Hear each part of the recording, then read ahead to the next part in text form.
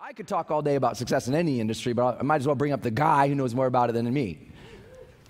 And uh, with that, I'd like to introduce this next session, which I'm so excited for you guys. So, many of you know already Darren Hardy. And Darren is the publisher and editorial director of the magazines you have sitting in front of you. He's the leader of Success Magazine, and he is a visionary force this guy, having come in and taken over the magazine and led it in such positive directions in the last few years is like astounding what he's done there to me. I mean, just astounding. He, he sits in the chair at Success of Orson Swett Marden and W. Clement Stone, Napoleon Hill, Og Mandino. Like he holds the chair of legends.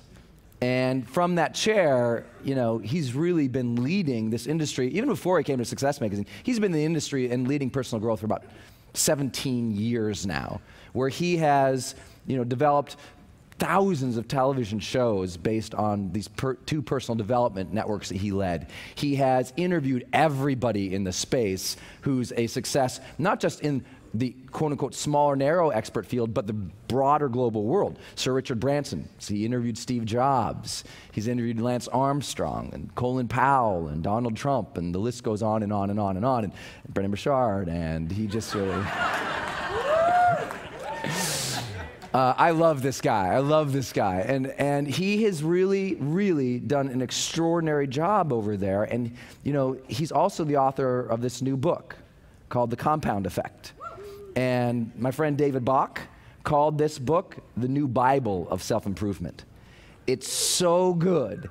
And we just found out that this week it hit New York Times and USA Today bestseller this week.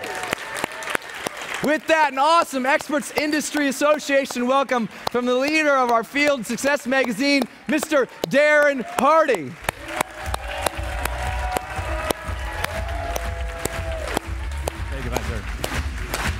Thanks, man. Appreciate it. Thank you. you. Well done. Enjoy this group, huh? Yeah, Enjoy yeah. It. Thanks.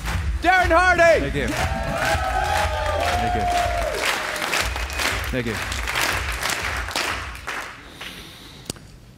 So I don't know about yours, but my childhood sucked.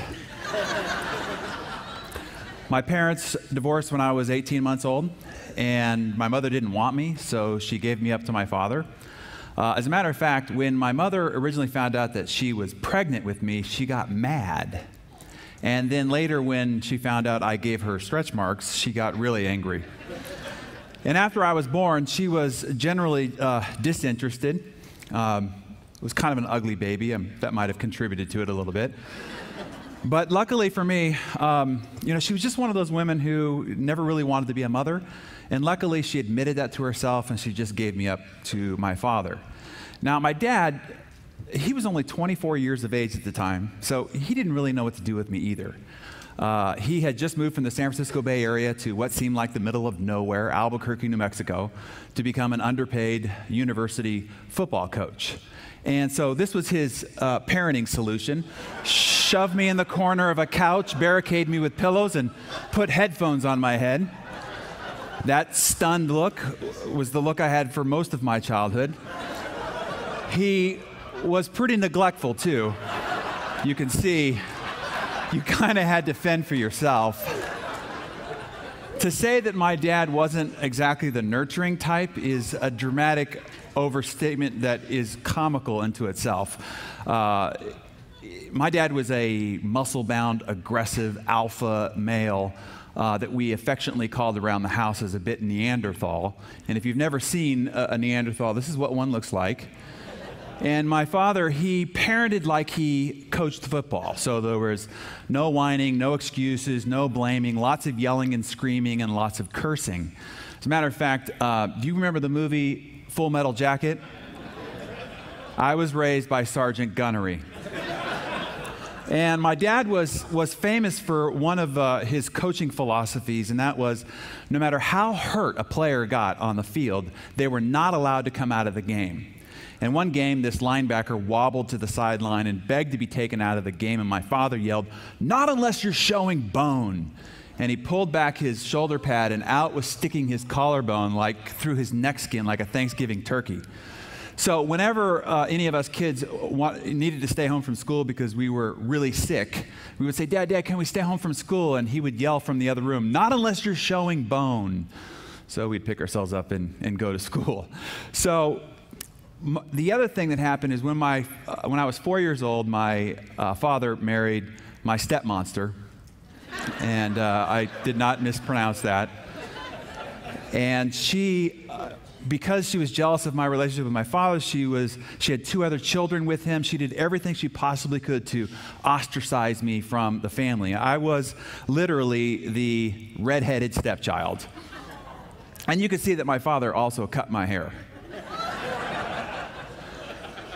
so, this dysfunctional childhood is the reason why I'm the functional achiever that I am today. Uh, Let me explain. It is because of going through these abandonment issues is the reason why I'm vigorously self-reliant. Because I was raised by Sergeant Gunnery is the reason why I'm also very self-motivated.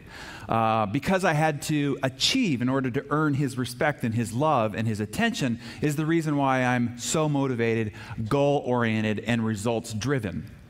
And a lot of times, I think people, uh, they look at their childhood as, as wounds. And I say it is your adversity that is your advantage.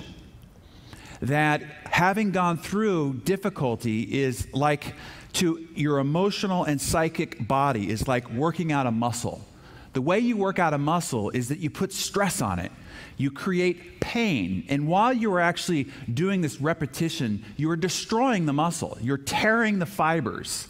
And in rest, it grows back bigger than it was before. And so, I guess the first message that I want to give to you is that I, I hope that your childhood sucked too. because that means you have developed the muscles it's going to take for you to achieve what normal mortals cannot achieve because they have not had the opportunity to develop the muscles that gives them that strength and that vigor. So turn your adversity into an advantage and stop looking at whatever happened to your in your childhood as wounds and look at them as the muscles that you have developed for you to do the superhuman things that you're going to go out into the marketplace and do.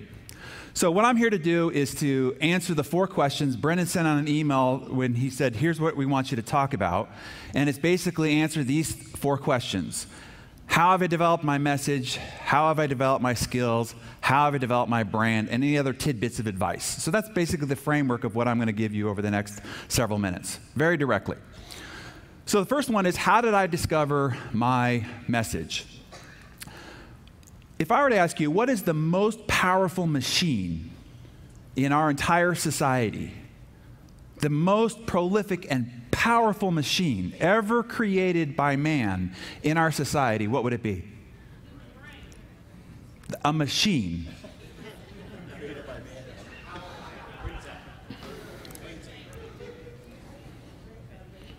Here's what it is it's the television.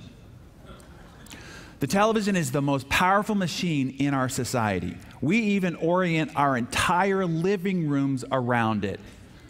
We orient our family around the centerpiece that is that television. That television is our window to the rest of the world. We identify the world around us and we identify ourselves based on the images and messages that come through that television. We orient our living rooms, we orient our lives, we orient our psychology around that machine. And that machine has been doing awful, ugly, destructive things in our society. Let me tell you what the blood sport there is what's called a blood sport of competitive media going on in our society, and it is the most destructive influence in our lives. Let me tell you how it came about because it didn't start this way. Once upon a time, there were only three television networks. And it was real reporting, and they really wanted to tell you what was happening in the world. And it was fair and balanced, not a mantra or a slogan, but it was about showing you the rest of the world. And three, three TV channels were your only options. Well, now we've got thousands of TV channels for all of you to choose from. Beyond that, we also have web television channels for you to choose from. Now there's tens of thousands of options to choose from. On top of that, there used to be just a couple of radio programs that could come in on your dial car radio. Well, now there are thousands of radio stations for you to choose from and tens of thousands of podcasts for you to choose from. Magazines. I mean, walk up to a magazine rack today, and it's just unbelievable the number of options you have in the most, you know, ridiculous of niche content categories. And then you've got blogs, and you've got digital magazines, online magazines, and the rest. So here's what's happening we are being bombarded with options of content. And it is continually sort of proliferating your attention span. The, the information overload of options that all of us have in our lives every day is incredible. Media understands this. So, how does media, if they are to get your attention amongst all of this competition, how do they get your attention? And trust me, they know you better than you know you. They know your psychology. They know how your brain works. They know your desires. They know your pain. And they know your fears better than you do. Let me give you an example. Let's say that you're in your car and you're, you're, you're running the traffic on the freeway and you're late and you're starting to get upset. What is, it, what is it that's going on that's causing this traffic? It's in the middle of the day. There's no reason for this traffic. And then you get up close enough to where you can see that there was an accident that happened, must have been long ago, because it's been cleared to the side of the road. It's not impending traffic, but it is still crawling at a snail's pace. Why? Rubberneckers, right? People are just slowing down to look at the wreck. Now, all of you people are probably good, you know, Christian people, and you don't want to see anything ugly or heinous or nasty or disastrous. But what happens when you get up and close to that car wreck? You look because you cannot help yourself from looking. It's in your primal nature to look when you pass. Media understands this. But let me give you an alternative example. Let's say off to the side of the road wasn't a car wreck, but off to the side of the road was a beautiful, majestic sunset. What happens to the traffic? Just whizzes on by. Nobody's stopping to look. What does that say about our nature? We are more attracted to ugly, heinous, and sensational than we are to beautiful, wonderful, and miraculous. Media understands this. One key point you need to know your mind is not designed to make you happy. Your mind does not give a crap about your happiness. Your mind's sole job is to keep you alive, it's survival. And so it's constantly on the lookout for danger, it's constantly on the lookout for attack or things that might interrupt your survival. And so when you show it negative, heinous, and ugly and sensational scenes, it lights up like a Christmas tree. And it's constantly now in, in processing in that worry mode. So, this is what's going on in our society. We are being bombarded with media who's trying to drag your attention, knowing that the way to do it is through sensational shocking, lewd, scandalous media, and it's bombarding our brain. And here's how it ends up working. Let me just show you as a physical demonstration so that you remember this as you sort of understand how the brain works. Here, here's your brain, okay? It's an open vessel. It will hold anything you put into it. It'll hold mother's milk, it will hold cyanide. It doesn't filter, it doesn't judge. So, here's what happens this is negative media. It is filling up your brain with dark, dirty, ugly, nasty messages. Now, your mind can only see the world as dark, dismal, dangerous, and worrisome. Because what you feed it, like a computer, input, you know, garbage in, garbage out. that becomes your view of the world. What do you do about this? Because you are surrounded with it, you are bombarded with it. Well, the one thing you can do, and I'll give you a couple of other things you can do, is you can find clean, clear water. And you will have to go out and seek it because the dirty water will beat a path to your door. And sometimes that dirty water is your own conversation to yourself. But the only thing you can do proactively is seek out positive, wholesome, abundant, prosperity based cleansing information. And like a dirty glass, if you just pour water and let it overflow and let it overflow, clean, clear water, clean, clear water, you end up with a glass of clean, clear water. You end up with a mind of clean, clear thoughts, clean, clear prosperity, abundance, possibilities. You see the miracle around you. We are living through some of the tumultuous times. The media is going to make you think that it's the worst of times. I promise you, there has never been more opportune times in human history for the budding entrepreneur than right here, right now. But it becomes difficult to see that possibility because media is constantly filling our mind with negative, dangerous, and worrisome media. So, I remember Frank Kern when I interviewed him uh, for Success. Uh, he used this analogy, which I thought was great. Here's what it's like Imagine you had an eight year old daughter and you invited somebody over for dinner, and you're in the kitchen cooking, and they're in the living room with your daughter. And you walk in on a conversation, and that person is sitting down right in front of your daughter talking about murder, talking about death, talking about tragedy, talking about scandal. What would you do with that guest? Kick them right out of the house and never invite them in. But that guest is sitting in your living room every night, feeding your family. Now, your brain, your mind, is like an eight year old.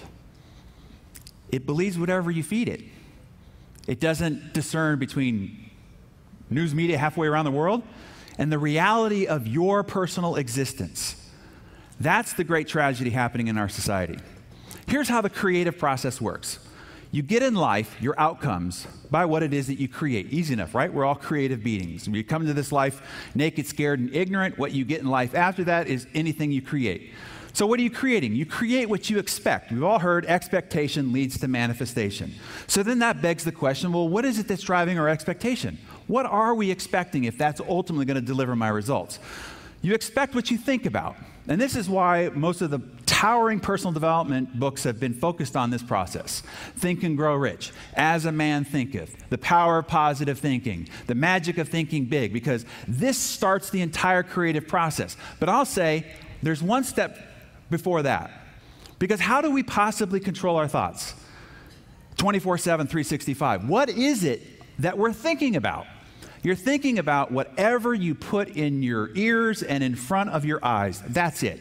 So if you're on the way to the office and you're turning on the news media as you're driving in your commute, your brain, which has been lit up by all the danger and scandal, is processing that unconsciously all day. It's driving what you're thinking about. That thinking process is driving your expectation of what's possible in the world, what's possible for you, and that's ultimately what's driving your creative engine to produce the outcomes in your life. Where your attention goes, energy flows. What controls your focus controls your life.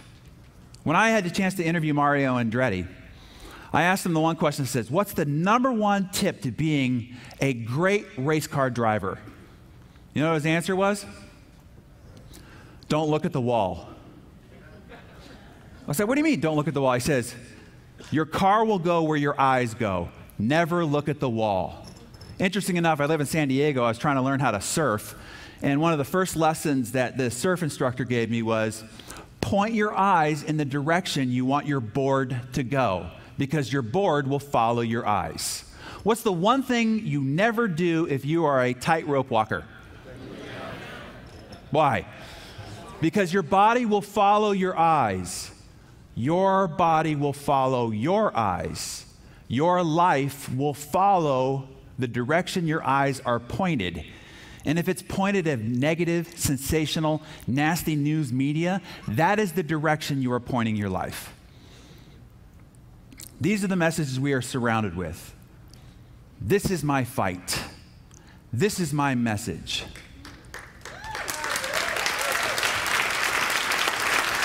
Instead, I want to show these messages and litter people's mind with what's possible the abundance, prosperity, and the miracles that surround us every day. Every day, we are presented with the 12 most ugly, heinous, nastiest things that happen in the world.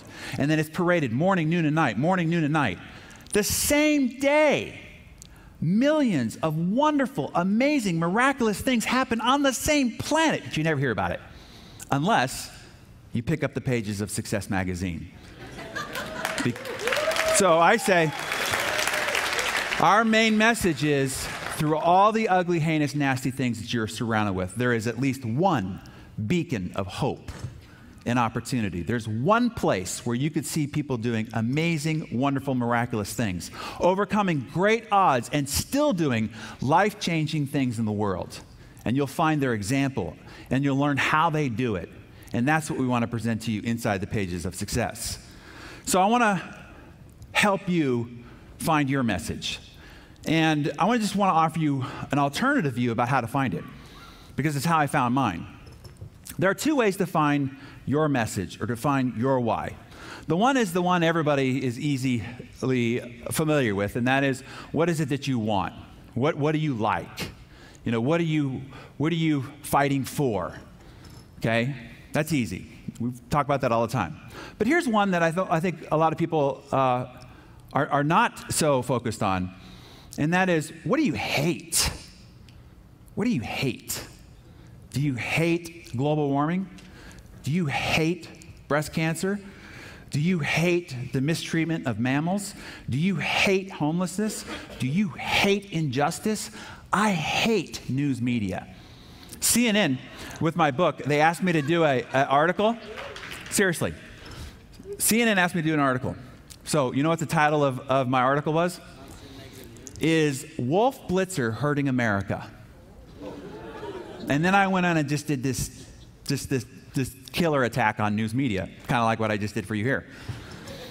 Knowing, I said, if you are truly fair and balanced, you will publish your own criticism. And if you don't, I will publish it on my blog that you didn't.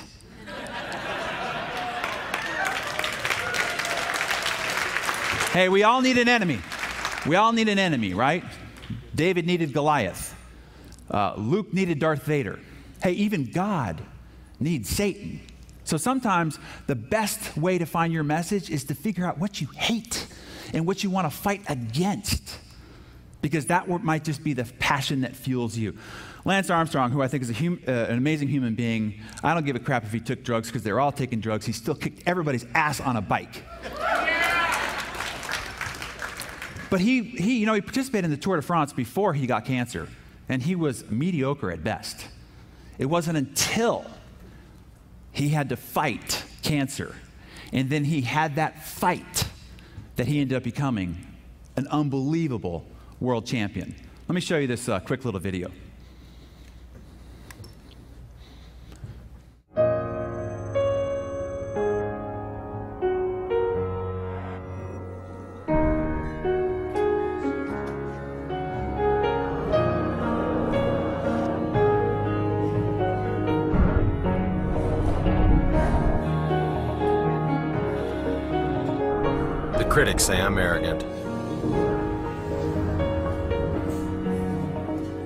Doper.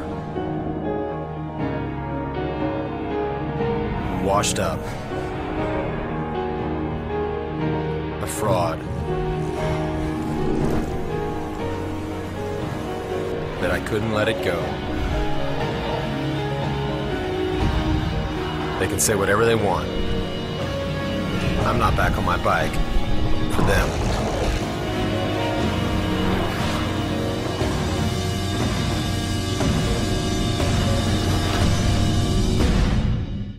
How to become a world champion?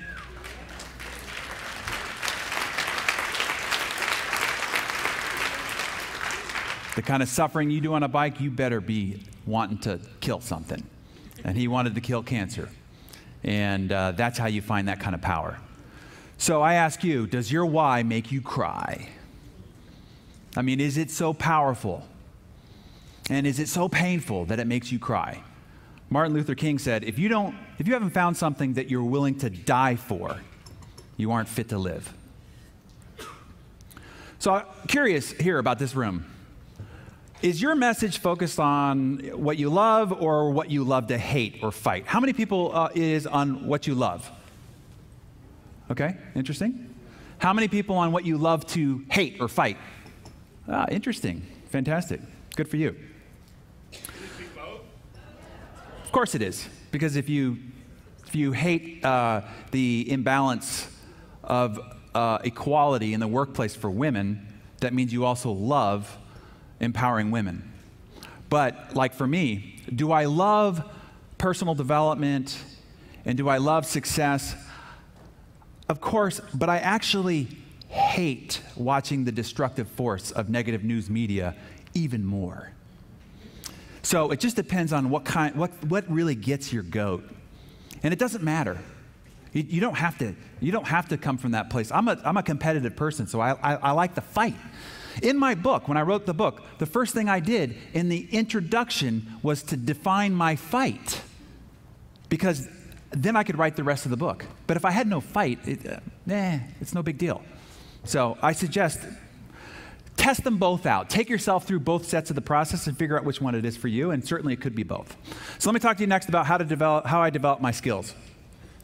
Here's the, what I see as the great gap between the haves and the have nots. And it will get wider and wider and wider. The path to the American dream used to be very simple get the highest education, get a good job, climb the ladder, get a pension, get the house with the white picket fence. Easy, easy, easy, no big deal. Well, today, the world is flat. We're all technically connected to each other. Now, your competition isn't the business down the street. It isn't your local chamber of commerce. It's every chamber of commerce in the world, as well as every second bedroom and basement occupied by a teenager and a laptop.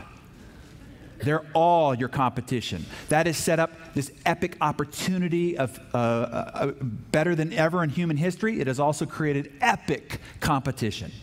So it is not going to be your academic degree, and it's certainly not going to be your corporate training that's going to give you the advantage. It is going to be your ever developing and evolving skills your emotional resilience, your ability to adapt to change, your ability to present, your ability to communicate, your ability to network, your ability to, to develop personal brand. I'm talking to the choir because you're here. But at the same time, this is the great divide. Few people will have the ability to proactively go out and develop their skills, and so the have nots will get bigger. But the haves will also get bigger, and the, the bridge between that gap is a skills gap. So let me tell you the uh, philosophy that I learned very early on um, when I was 18 years old. Somebody said, Here's how you want to structure your financial life it's a 10 10 plan. So you want to take the first 10% of any money you make and you want to give it back to help others. We've all heard that, right? Tithe 10% to help others. But this is the other key point. You want to take the other 10% and you want to tithe it to yourself. You want to use 10% of every dollar you make and reinvest it in your own personal development. Now, when I made $150,000 a year as an 18 year old, 15,000, no big deal. You make a half a million, 50,000, you make a million, 100,000, you know, make several million, it becomes more and more difficult to spend that kind of money. However, interestingly enough, the top CEOs, the top athletes, the Olympic champions, they all have the highest paid coaches they can find. Why? Because they know that that is the separating factor to them going on and becoming world champions. So take 10%. This is how you fund your skill development. 10% of all your income goes back into reinvesting in your own personal development. Brian Tracy, uh, very early on when I was still a teenager, I learned this from him. He said, for every dollar you invest in your personal development, it adds at least $30 to your bottom line. Now, where can you go get a 3,000% ROI anywhere in the financial markets today? Where can you get a 300%? Where can you get a 30%? So, instead of putting in your 401k, instead of putting it into the savings account or buying equities or stocks, trust me, the best investment you possibly can make for your economic future, for your retirement plan, is to invest it in your own evolving personal development. So, We talked about the we talked about the mind, and let me just give you two things to just always run it through. There are two things you need to do with your mind. There's an old Cherokee tale. Uh, grandfather's talking to his grandson, and he says, Grandson, inside each of us are two wolves, and they are at war with each other. And one wolf is a bad wolf. It's angry, it's fearful, it's nasty, it's lazy. And then there is a good wolf, and it is giving and loving and abundant and disciplined. And the grandchild looks up at the grandfather and says, Well, well which wolf is going to win? And the grandfather smiles and said, Whichever you feed. Inside each of us is a bad wolf and a good wolf. Anything you see on news media, any heinous act you see other human beings doing to the world or to each other, inside each of us lies that potentiality. Everything you see is a part of your nature as well. But what gets demonstrated determines what's been fed. My mentor, Jim Rohn, said, You got to take the worst of your nature and drive it into a small corner. And you got to take the best of our nature and you need to build it and embolden it and make it and, and grow it. And so realize at all times you are feeding one of these two wolves inside of you. And the one that will win is the one that you feed the most. So, number one is protect your mind. Go like this with your mind as much as possible. I personally do not ever listen to any news media at all whatsoever. I know that some people think that's crazy and makes you ignorant and all the rest of that crap. I seem to be doing pretty good. I am really cognizant that inside is an eight year old brain, and I do not want it subject to just whatever news media wants to fill it. Now, I just suggest for you go on a news media diet. If you need to figure out what's going on for 20 minutes, be very selective, fine, but protect it vigilantly because it will be the path to your door. I mean, I can't walk through an airport without Wolf Blitzer being on. And he's throwing the situation room. The world's coming to, the, to an end. Every freaking five minutes, the world's coming to an end. So, number one is protect it. And then number two is to feed it. Number two is to find as much clean, clear water as you possibly can flush through it on an ongoing and regular basis. And so I consider the feeding of my mind like a race. And it's a race between everybody else in the world. How often and how abundantly can I feed my mind positive and instructional and inspiring messages? And so I suggest every time you are driving in your car, my car does not move without gas or some sort of instructional CD going. Some CDs I've li- listened to 60, 80 times. The, the uh, uh, Challenge to Succeed by Jim Rohn, I've listened to that thing 80 times by now. Same thing over and over again. I'm not even really listening to the message, but it's elevating my mind anyway. So while you exercise or work out, is a great time. Feed the mind, feed the mind. While you walk the dogs is a great time to feed your mind. Now, if you're lazy, you can walk the dogs like this as long as you got your personal development on. really lazy, make the damn dog drive itself. You sit in the passenger seat, make sure you're feeding your mind. Brian Tracy also taught me this E to E ratio. What separates the 5% who are wealthy and the 95% who are not? That 95% spend their spare time on entertainment. The 5% spend the majority of their spare time on education. This is the great divide between the haves and the have nots. How are you spending your spare time? Now, I'm not saying you don't ever have any entertainment. Of course not. Everything in moderation. But this is the average consumption. Eight hours a day is spent on entertainment. It doesn't always have to be television. Facebook and all that other social crap that's unpurposeful is also entertainment.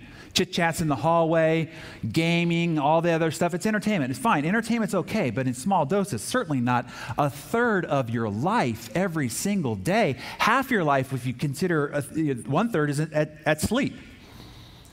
Don't do that. So, curious, here we are in a high minded room, but just be honest. How much personal development training are you doing each and every day, consistently without fail? A rounding error of zero. Anybody at zero? That would be not the right room. Less than 20 minutes? Okay. 20 to 60 minutes? Fair enough. Good. Thank you for being honest. More than an hour? Okay, wow, just definitely a different room than you normally are talking to, I'll tell you that. So, fantastic for you, obviously. Fantastic for you. So let's talk about developing your skills. Here, just give you my, my personal plan, okay? I'm trying to give you some framework and some context about the systems I use. One of the things I see as an epidemic within our learning process is that we're learning a lot all the time. We're constantly feeding ourselves, you know, new information, but we study very little. We're always looking for the next new information, but we don't stop to take the information we learn and then to go deep with it to create study. So I want to give you my 1 1 5 3 1 30 35 plan. it's kind of catchy, huh? I was listening to Brendon yesterday. He said you have to have a sequence. Well, that's my sequence. So let me show you, let me show you the sequence. Number one is take your number one goal, whatever your number one goal is. Okay? What is the one skill that is going to determine the most to you accomplishing that goal? So let's say in the expert space, it might be learning how to write really great, or it could be learning how to present, or it could be learning internet marketing. Whatever the way you think the one, the most important skill is to accomplishing your goal, identify it. And then next, take five books on the topic and go immediately to Amazon and order them. This is what I do. I pick the, pick the skill, buy five books, go buy three DVD or CD programs, and then pick one seminar and go to it on that skill. One time for me, it was relationships. My number one goal was creating more intimacy in my marriage.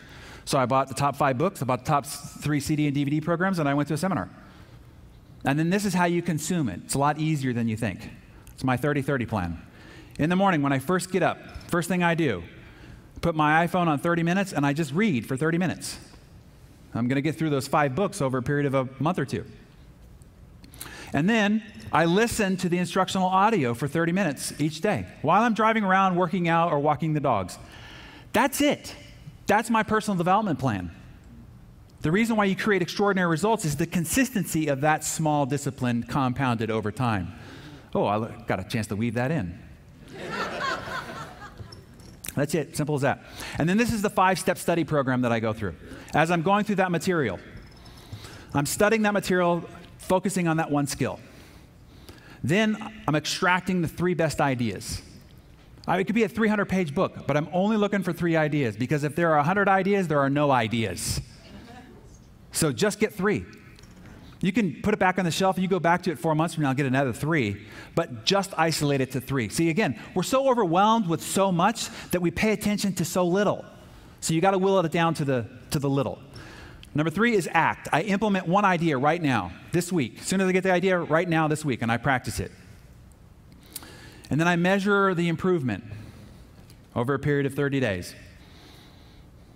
And then I do this plan, do, review, where I review it, I adjust, and I do it again.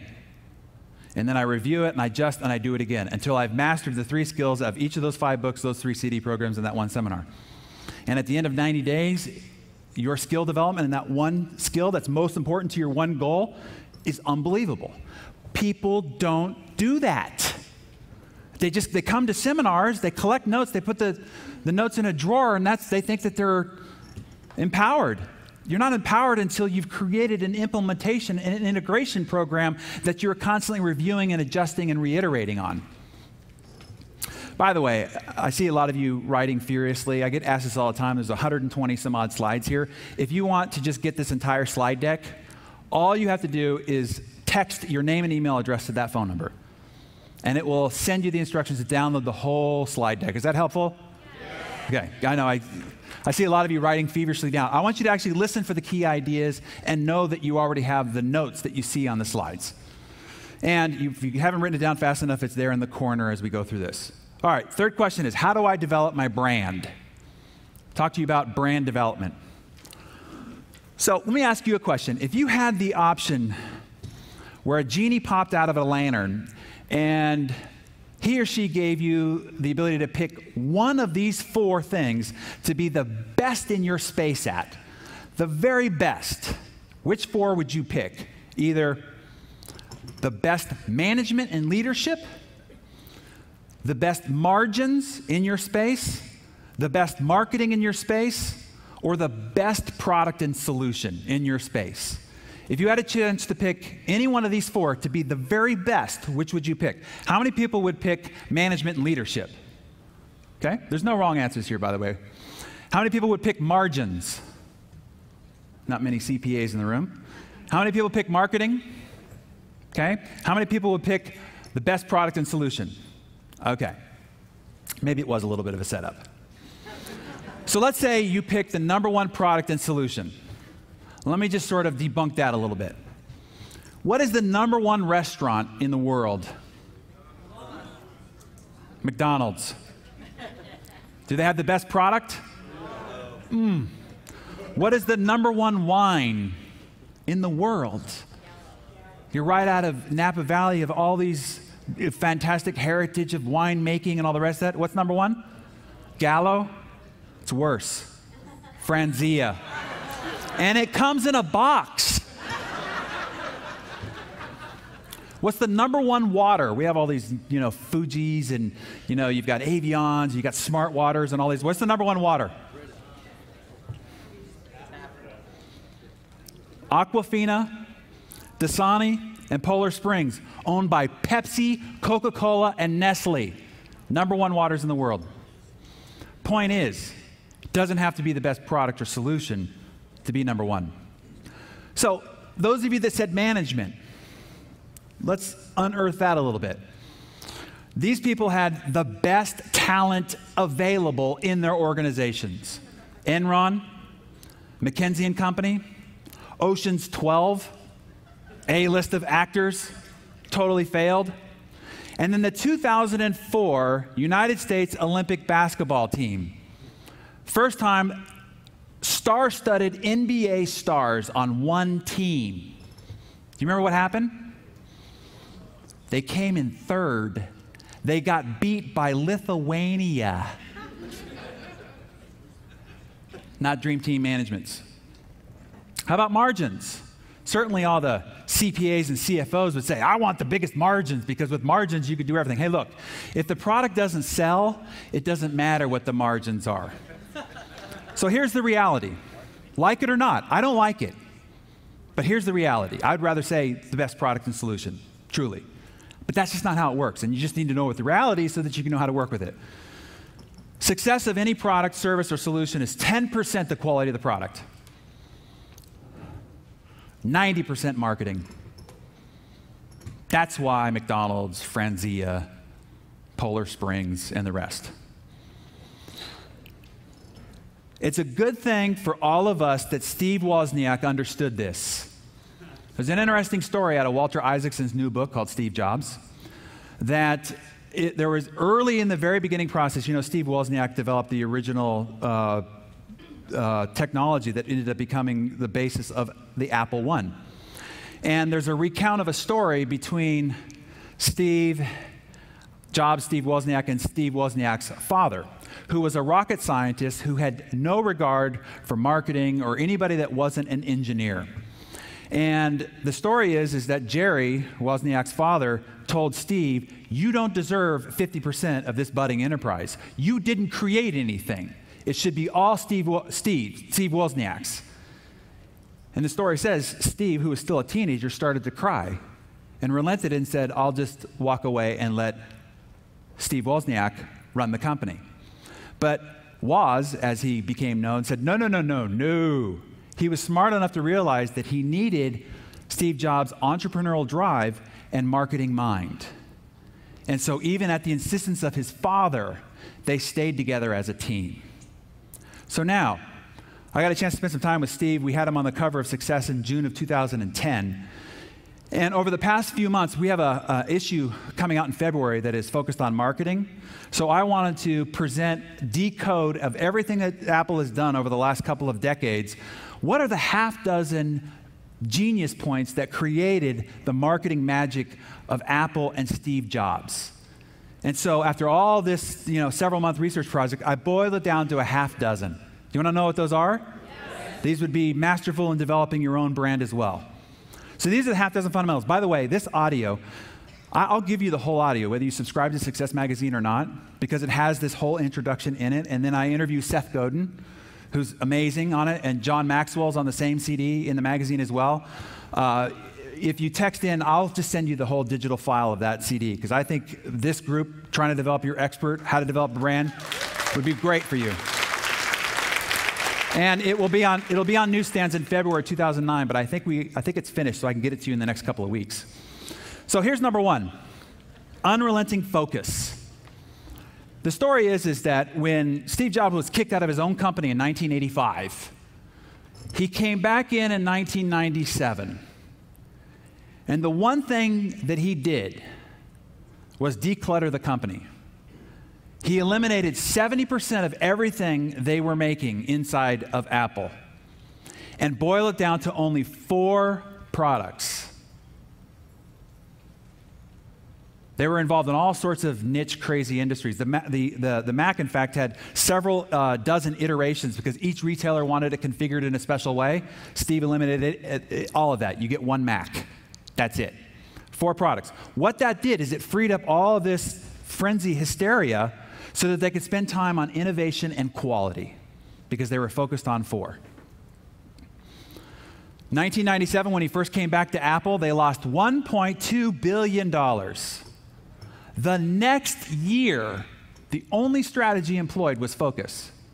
They made 309 million in profit one of the most incredible turnarounds of any company in history. They went from 90 days from being insolvent to being the most valued brand in the world. And they focus the credit to focus. This is uh, when I asked Steve Jobs in the interview, I said, What are you most proud of what Apple has built and what you have built? And his answer was, I am as proud of what we don't do as I am of what we do. And in the book, he expands further. This is a direct quote from the book. He says, deciding what not to do, particularly with entrepreneurs who have an idea a minute, is as important as deciding what to do. It's true for companies and it's true for products. Consider that in your own product development, in your own solutions, in your own business. This is a conversation by one of my colleagues, the editor of Fast Company, was having with the new CEO of Nike, Mark Parker, and he relates a conversation that he had with Steve Jobs when he asked for some advice about how to be a CEO at Nike. I want to play you this quick little interview. You mentioned last night uh, when we were having dinner that when you first got the, the job as CEO, you got a call from Steve Jobs and he offered you some advice. Well, he didn't call to offer me advice, but uh, we had worked together on uh, a Nike Apple collaboration called Nike Plus. So we took what Apple knows, what Nike knows, and you know brought a new technology to the market. Anyway, long story short, uh, he said, "Hey, congratulations! It's great. You're going to do a great job." Uh, I said, "Well, do you have any advice?" And he said, "No, no, you're, you're, you're great." And then there was a pause, and he goes, "Well, I do have some advice." He goes, Nike makes some of the best product in the world. I mean, product that you lust after, absolutely beautiful, stunning product. But you also make a lot of crap. He said, just get rid of the crappy stuff and focus on the good stuff. And then I expected a little pause and a laugh, but there was, there was a pause but no laugh at the end. yeah. And he was absolutely right. And in fact, that's one of, been, one of my major uh, focal points in terms of my priorities as a, as a CEO and, and even as a designer when I was growing up at the company is to edit. I mean, we have so many ideas. Nike is an idea factory. So I ask you the same question What crappy stuff do you need to stop doing so that you can focus on the good stuff? When I asked Warren Buffett his key to success, his answer was For every 100 opportunities that I am presented with, I say no 99 times. This is one of the richest men in the world. That's his key to success, saying no. It's a clue. Here's number two to the decoding of the Apple Jobsian marketing magic don't sell products. Apple does not sell products, they sell an identity, they sell an image, they sell status, they sell membership. They sell a community. They sell access into a tribe of cool. You know, remember the 1984 commercial? They didn't talk about a product, They didn't talk about features, they talked about a revolution. They asked us all to think differently. That was the message they were selling. They weren't selling computers, they weren't selling listening devices. They were selling a culture, a revolution, and an identity. They wanted every time that you saw somebody holding a phone to their ear and it had the Apple logo on it, you were identified as cool. The white earbuds, one of the first innovations to identify the tribe. If you got the white earbuds because everything was black before then, that mean, meant you had an iPod in your pocket. And that made you part of the tribe. That made you cool. They even did very direct advertisements about do you want to be the fat, stodgy guy or do you want to be the cool guy? It was an identity. They even, you can't read that, described exactly how an Apple cool person dresses. Identified it in an ad. They're selling an identity. They're selling a culture. They're selling a status, not selling computers and listening devices. In fact, when you have your Apple computer, when you close the lid, the apple's upside down. Why is it upside down?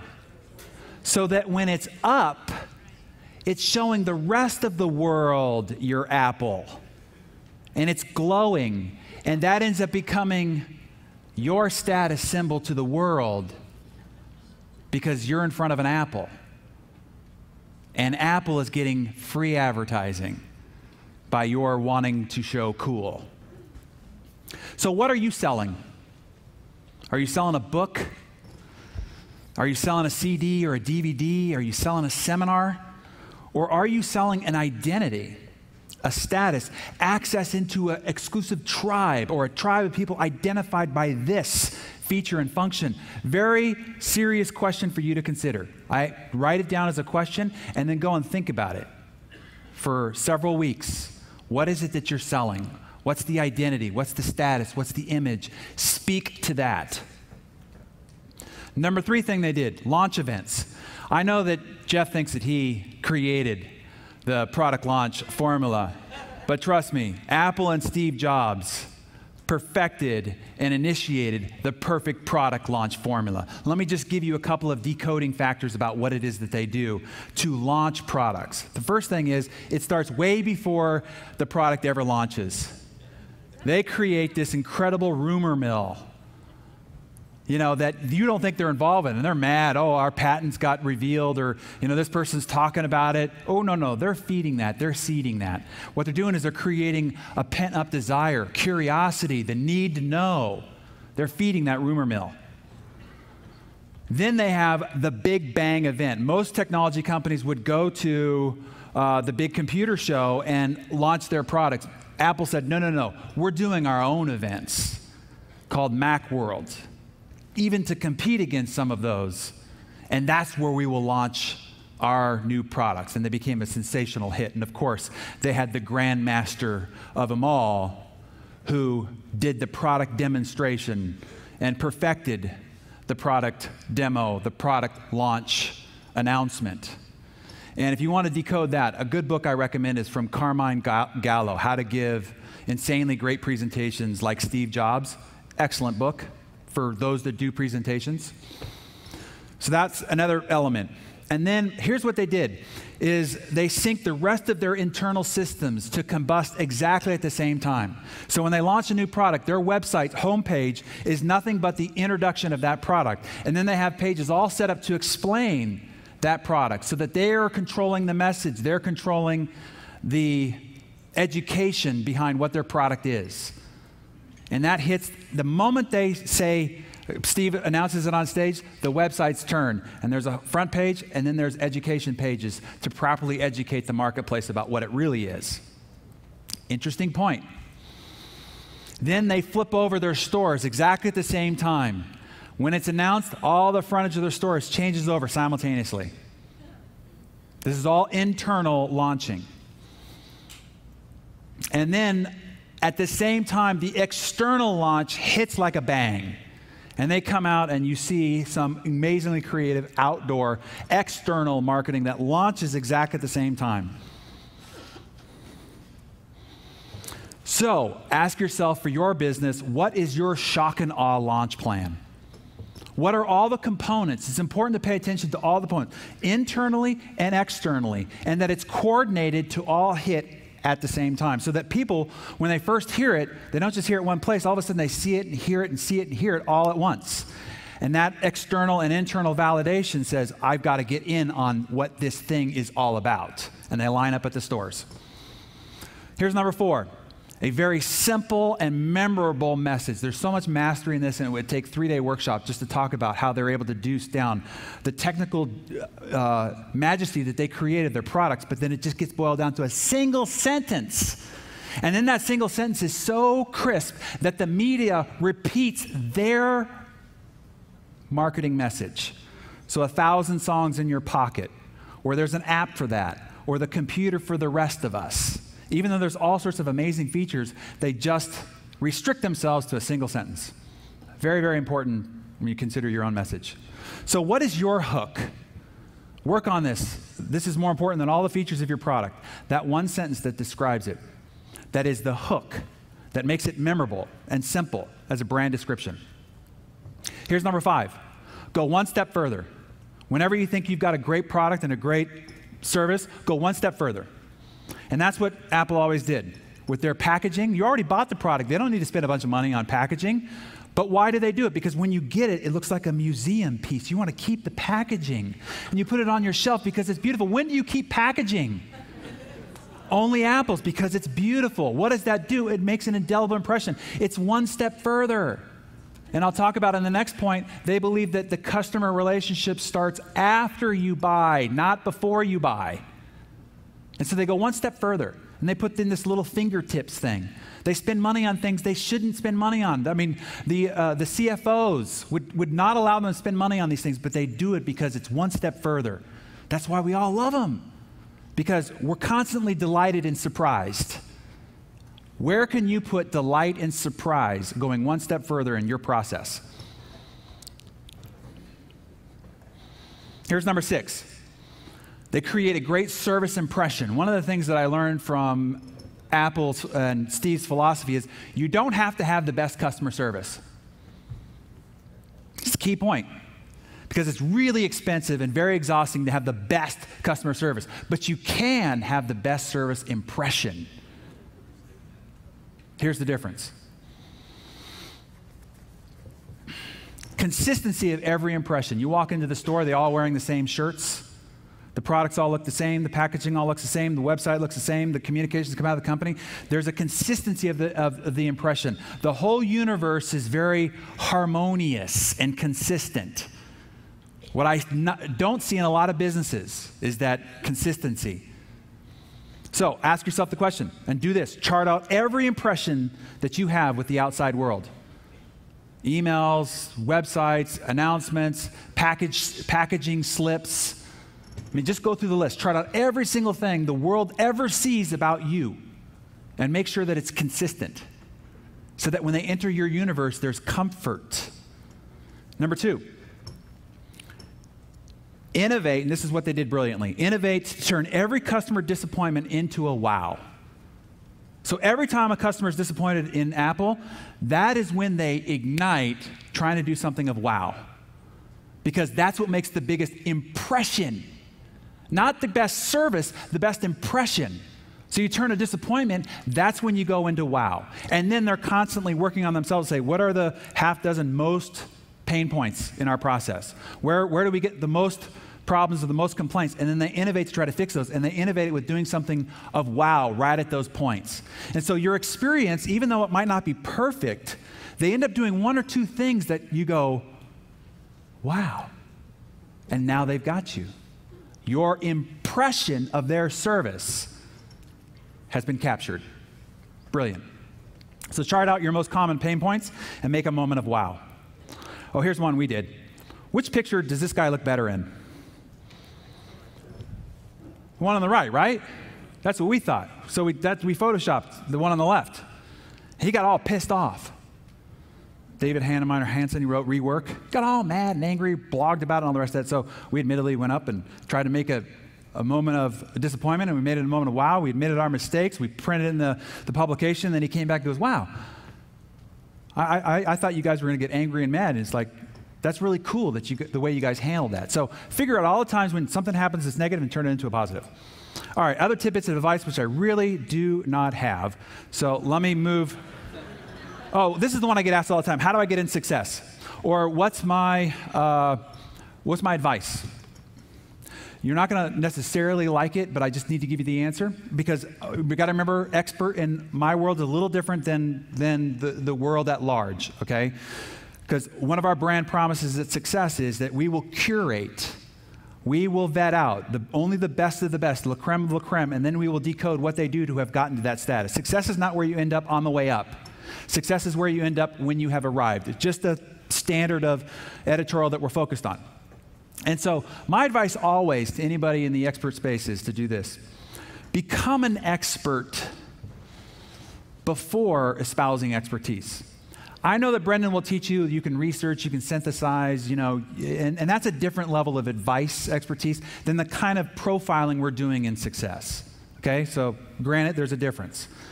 But I always say, go do something extraordinary that other people want to do, but you do it extraordinary, like way above the radar, and then come back and tell, you how, tell us how you did it. That's it. That's the best way. Go do something extraordinary that other people want to do and then come back and tell us how you did it, because that's what people want to know. Okay, so I'm going to skip through these and just hit the last point. This is a content monetization wheel. You'll get a lot of that from a lot of these guys too, and you'll get it on the slides. But there's take one piece of content and then remonetize it in a variety of different ways. These are the spindles on the wheel, and then how to create a customer ascension funnel. And, you know, obviously, you know, don't have a product, don't have a book or a talk. Create a movement. What's your movement? What are you enrolling people into? What, what is it that, that, what's the tribe that they get access to? What's the cause, the mission, the vision of your purpose, your stated purpose? And it's not talent. A lot of these top thought leaders, authors, speakers, it's not their talent. I promise you, it's, I, I get a chance to interview them all. It's not their talent. Now, they might be talented, but I promise you that talent was developed over excruciating hard work. Michael Jordan said, Anybody can have talent, but you have to develop ability, and it's ability that counts. And then learn to love failure because you're going to fail, and you want to fail because it's the muscles you're developing to do the superhuman, to do the extraordinary. It's that muscle that's going to get you to become extraordinary above the radar of everybody else. I, uh, the, I was at the Dav- Dallas Mavericks game in a, in a box, and um, Michael Jordan was there, and I asked him what his key to success was. And I asked that question to most, most everybody. And this was part of his answer. Let me, let me show you how, uh, let, me, let me give you his answer in this short little video. I've missed more than 9,000 shots in my career.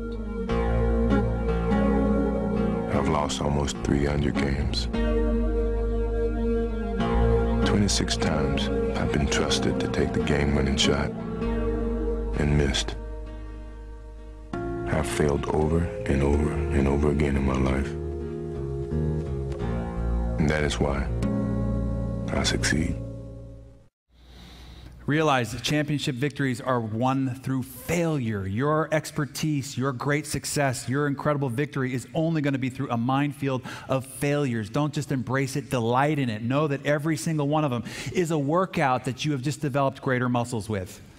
Here's one of the greatest failures in the world Richard Branson. We talked about it last night. Virgin Cola, Virgin Vodka, Virgin Cosmetics, Virgin Cinemas, Virgin Cars, all great catastrophe failures, public flameouts. But yet, this is his motto screw it, let's do it. if you fall flat on your face, pick yourself up and try again. That's why the guy's worth $4 billion and has 400 companies. And then, as Eleanor Roosevelt said, do something every day that scares you. And the last ingredient that I see in a lot of incredible thought leaders and experts in the space, this is the last attribute I want to give you. It's this unconquerable, unshakable sense of resolve. And so as you leave here on Sunday and you go back to your families and your communities and your neighborhoods, I want you to see whatever this goal of yours is, whatever mission, cause, or area of expertise that you want to own, as we've talked about, as your mountain in life and you're going to start climbing this mountain. And there are going to be people that come up to you, maybe well intended people who you, you know, think love you, who are going to say, What are you doing? What do you, who do you think you are? You're no expert. You know, you got a good job, it's safe and secure. You know, you should just get off that damn mountain and be happy that you have a job. And you're going to have to look them in the eye and say, I'm going to the top. And you're going to climb up a little further, and there are going to be some other friends or colleagues or peers or people, people on Facebook that are like, You, an expert? You're going to make some contacts with some PR people like, no, no, no, no, uh, we're not interested. And you're going to have to look them in the eye and say, I'm going to the top. And you're going to climb up a little further. And you're going to have some embarrassing moments on stage. And you're going to write some things that are going to get rejected. You're going to make proposals to publishers. They're going to say that you're not worthy. And you're going to have to look them in the eye and say, This is my mountain. You're either going to see me waving from the top or laying dead on the side. I am not coming back. And when you have that sense of resolve, nothing can stop you. I look forward to seeing all of you waving from the top. Thank you very much. Thank you very much. Thank you. Thank you, thank you. Thank you. Thank you. Thank you.